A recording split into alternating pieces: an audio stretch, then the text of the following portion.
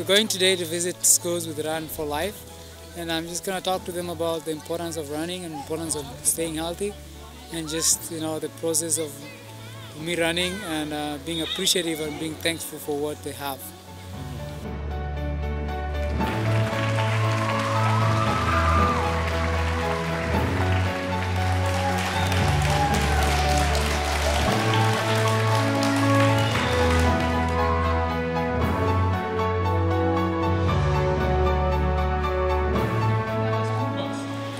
So every day in the morning, I'll wake up and I'll run five miles to school in your age, and then run five miles back home to come home for lunch, and then run back to school again, and then run back home again.